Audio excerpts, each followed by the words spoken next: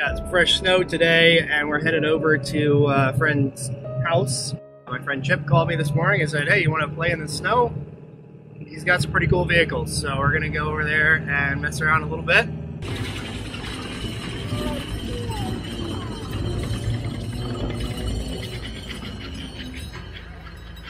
This plug here in the front is so that you can hand start it with a crank, which is kind of funny. It's crazy. Um, they were built to be amphibious, but it has really low freeboard, so it's to go across like calm water, not like a you know not like a fast moving creek.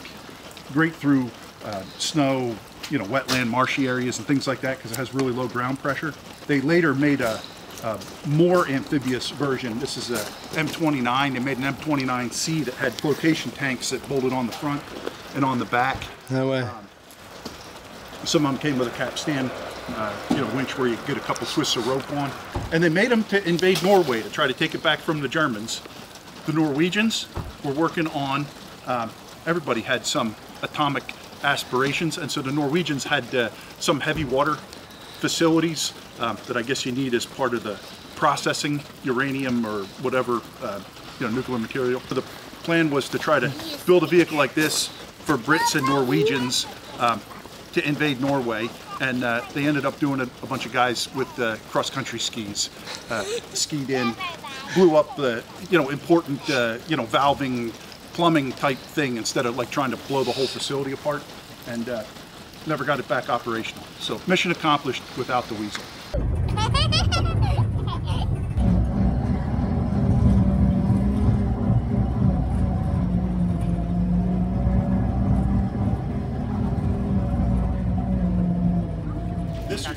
Making stuff up, but they actually put a bomb box in them with like composition B, sort of like the you know precursor to C4, and uh, if the thing broke down, you were not supposed to leave it for the enemy to recover. Oh, you So ignited. blow up that bomb box, and it will blow up the transfer case, probably wreck up the engine, the transmission, and uh, make it non-operational. Studebaker engine, so it's a little uh, three-speed and two-speed transfer case, 3,800 pounds, 20-inch wide tracks.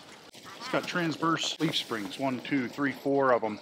It drives off the rear sprocket. The fronts are just idlers. Radiators under the windshield, and so the whole thing has like a tunnel that runs through, so it pulls cooling air down through.